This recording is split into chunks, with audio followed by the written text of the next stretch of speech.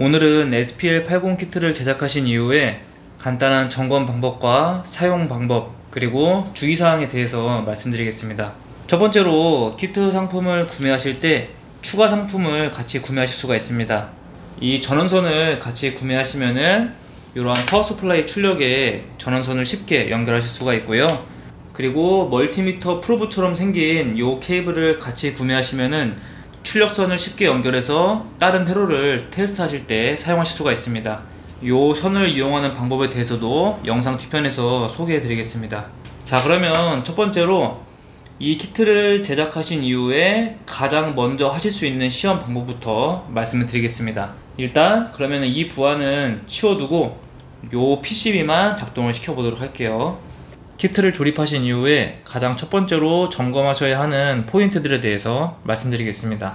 이 키트는 30V를 입력을 하고 있습니다. 그래서 전원장치의 출력을 30V로 설정을 해주시고요. 만약 이 회로 어딘가에 문제가 있다면 전류가 많이 들어갈 수가 있기 때문에 이 power supply의 출력 전류를 맨 처음에 약 1A 정도로 낮게 설정해 주세요. 그래서 1A로 설정을 바꿔보겠습니다. 출력 전류를 약 1A 정도로 설정하셨으면 이제 power supply의 출력을 이쪽에 입력을 해주세요.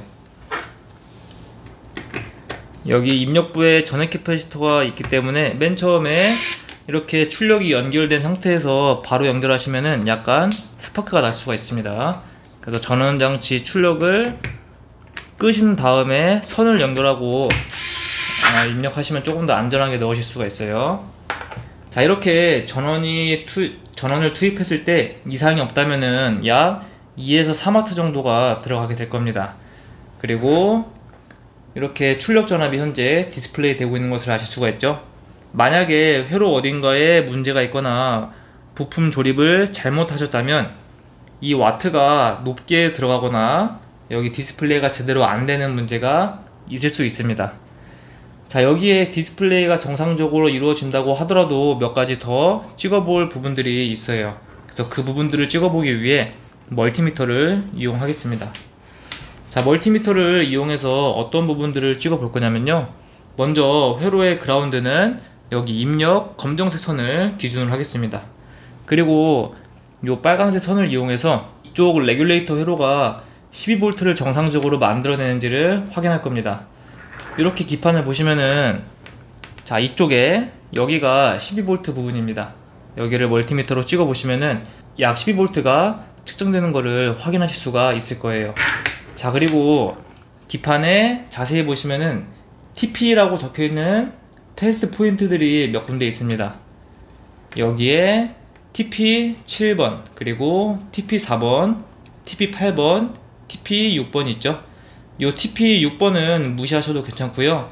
4번하고 7번 8번을 한번 측정해 볼게요. 자 첫 번째로 여기 4번 먼저 측정해 보겠습니다. 그라운드는 입력을 기준으로 하시고 4번 이렇게 측정을 해보시면은 약 5V 전압이 출력이 될 거예요.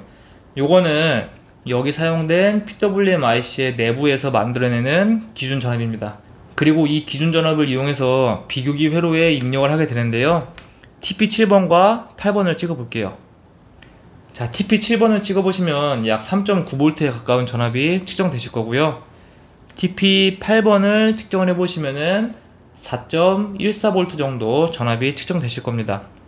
이 전압을 이용을 해서 팬을 작동시키기도 하고 작동을 아예 멈추게도 할 겁니다. 이 부분까지 이상이 없다면 이 키트는 정상적으로 작동한다고 보셔도 되고요. 몇 가지 더 확인을 위해서 이제 이 토글 스위치와 가변 저항 사용 방법에 대해서 말씀드리겠습니다. 자, 이 토글 스위치 같은 경우는 이 키트의 출력을 온오프하는 용도입니다. 이거를 아래로 내리시면은 출력은 나가지 않습니다. 여기 전압은 디스플레이 되지만 출력은 실제로 나가진 않아요. 그리고 이 LED를 보시면은 출력이 켜져 있을 때 LED가 켜지고 출력을 내보내지 않으면은 LED는 꺼지게 됩니다. 출력이 나가든 나가지 않든 가변 저항을 이용해서 전압을 설정하실 수가 있습니다. 약 293V부터 최대 353V 정도까지 감염하실 수가 있는데요. 여러분들이 이 키트를 사용하실 때 제가 권장드리는 전압 설정은 약 320에서 340V 정도 수준입니다. 그래서 이 정도 수준으로 맞춰서 사용을 하시면 좋겠습니다. 그리고 오른쪽에 있는 가변 저항은 출력 전류를 얼만큼 허용할 것인지 그거를 설정한다고 보시면 되는데요. 가장 반시계 방향 끝까지 돌렸을 때 이때는 약 1, 2mA 이렇게 낮은 전류가 나가기 시작하면은 바로 출력을 차단하고요. 끝까지 돌리면은 최대 약 250에서 260mA 정도를 설정하게 됩니다. 이 전류 제한치 같은 경우는 부하에서 사용하는 전류를 고려해서 설정을 해주시면 되는데요. 제가 어느 정도 권장드리는 범위는 요 가운데 아니면은 한 요 정도에 두고 사용하시는 것을 권해드립니다. 끝까지 돌려놓고 사용하면은 출력 전류가 되게 많이 나갈 때 리미트가 걸리게 되는데요. 이제 그렇게 작동을 시키다 보면은 상황에 따라서 보호 동작이 약간 불안하실 수가 있습니다. 이렇게 끝까지 돌려놓고 사용할 때는 부하가 이상이 없는 경우에 대해서는 여기까지 사용하셔도 전혀 문제가 없습니다. 그러나 내가 만약 어떤 고장난 제품을 수리한다든지 전원 이상 유무를 테스트한다든지 이제 그럴 때는 전류치를 충분히 낮춰서 테스트를 하시면 되겠습니다. 즉 먼저 안전하게 전류치를 낮은 상태에서 테스트를 하시고 부하가 이상이 없다면 그때는 전류를 늘려서 사용해도 된다는 이야기입니다. 자 그러면은 몇 가지 더 기능 테스트를 한번 해보겠습니다.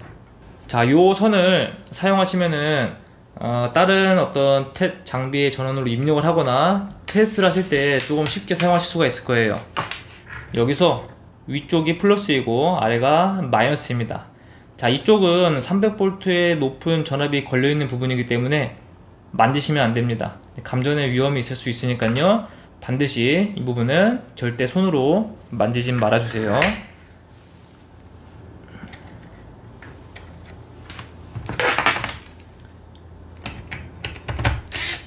자, 출력선을 연결하고 기능들이 정상적으로 작동하는지 그리고 보호 기능은 어떻게 작동하는지 확인해 보겠습니다.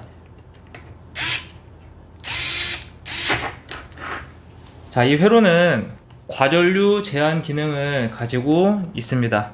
그래서 출력이 많이 나가면은 그거를 인지해서 바로 작동을 멈추게 됩니다. 자, 지금은 토글 스위치를 아래로 내렸기 때문에 출력이 나가지 않아요.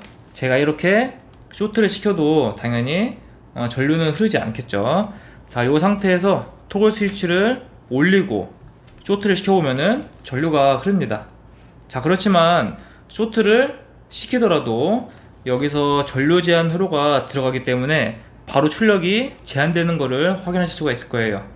자, 이 상태에서 조금 작동을 한번 놔둬 볼게요. 이렇게 쇼트를 시켜서 작동을 시키면은 팬이 작동하는 걸 보실 수가 있을 거예요. 자, 그러다가 이쪽 부분이 더 뜨거워지면은 이런 식으로 출력을 아예 내보내지 않습니다. 팬에 의해서 FET가 있는 부분의 온도가 식으면 다시 작동을 하게 되고요. 이렇게 회로 동작이 아예 멈추게 돼서 이 부분의 온도가 더 충분히 내려가면 그때는 팬의 작동까지 멈추게 됩니다. 그래서 여러분들이 이 부분을 작동하면서 한번 확인해 보실 수가 있고요. 제가 이 전류 단자를 이렇게 반시계 방향 끝까지 돌려놓으면은 더 낮은 전류에서 출력이 이렇게 제한되게 되겠죠 요거를 더 올리면은 더 높은 전류에서 출력이 제한되게 됩니다 자 그러면은 이걸 가지고 어, 떻게 사용하실 수 있는지 조금 소개를 해드리겠습니다. 여러분들이 이 키트를 사용해서 하실 수 있는 것들이 상당히 많이 있습니다. 이러한 SMPS에 AC220V를 대신해서 입력을 하실 수도 있고요. 아니면은 어댑터나 어떤 컴퓨터의 전원부, 모니터 전원부 이런 거를 수리하실 때 220V를 넣는 대신 그렇게 사용하실 수도 있고요. 오디오를 좋아하시는 분들이라면은 진공관에 고전압을 입력할 때 이 키트를 사용하실 수도 있습니다. 자, 아까와 같은 방법으로 이 회로가 정상적으로 작동한 것을 확인하신 이후에는 전류 제한치를 충분히 늘리셔도 무방합니다. 여러분들이 가지고 계신 파워 사양에 따라서 이 전류 제한치가 일반적으로 3A 하거나 아니면 5A 정도로 설정을 하실 수가 있을 거예요. 그래서 3에서 5A 정도로 설정을 해주시고 사용을 하시면 되겠습니다. 자, 이 회로를 이용해서 요 SMPS에다가 전원을 한번 넣어 보겠습니다.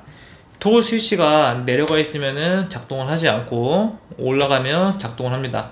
따라서 내린 상태에서 이 L과 N 단자에 프로브를 갖다 댄다고 하더라도 전원은 입력되지 않는 상태예요.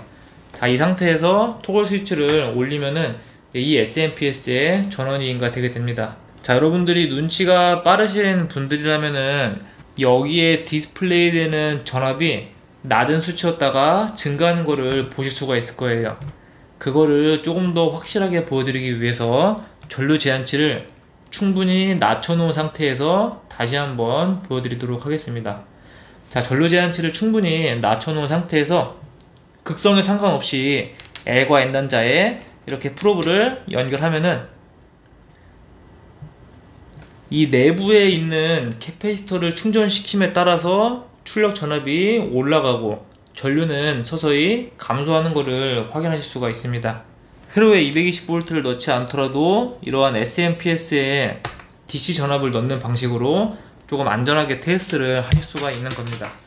그래서 뭐 다른 SMPS 그래서 다른 친구들한테도 전원을 넣어보면은 극성 이렇게 넣으실 때는 맨 처음에 약간 스파크가 날 수가 있어요. 이 작동을 하는 상태에서 넣으시면요.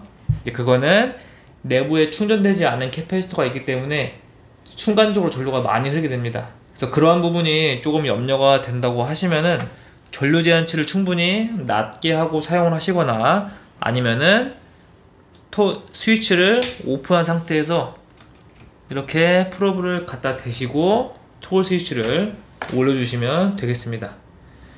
맨 처음에 전류가 많이 흐릅니다. 그래서 전압이 limit가 걸렸다가 커패시터가 충전되면은 그에 따라서 전류는 흐르지 않게 되고 전압은 다시 올라가게 됩니다. 되게 많은 분들이 이러한 30V를 출력할 수 있는 파워를 사무실이나 집, 연구소에서 가지고 계실 겁니다. 이러한 SMPS를 테스트하려면 AC 120V를 사용을 해야 되는데 이제 그거에 대한 심적 압박감 때문에 조금 두려워서 전원을 입력하는 게 제한되셨던 경험이 많으실 거예요. 그럴 때 이러한 DC 파워를 이용을 하면은 훨씬 더 안전하게 파워를 넣어서 테스트 해 보실 수가 있습니다. 그래서 오늘 영상을 참고하셔가지고 이 회로가 정상적으로 작동하는지 테스트를 해보시고 여러분들이 사용하고자 하시는 목적에 어, 사용하시면 좋겠습니다. 다음번에 이 키트를 사용해 가지고 또 어떤 식으로 활용할 수 있는지에 대해서도 소개를 해드리도록 하겠습니다. 키트와 관련해서 혹시 궁금하신 점이 있다면 댓글로 남겨주세요. 감사합니다.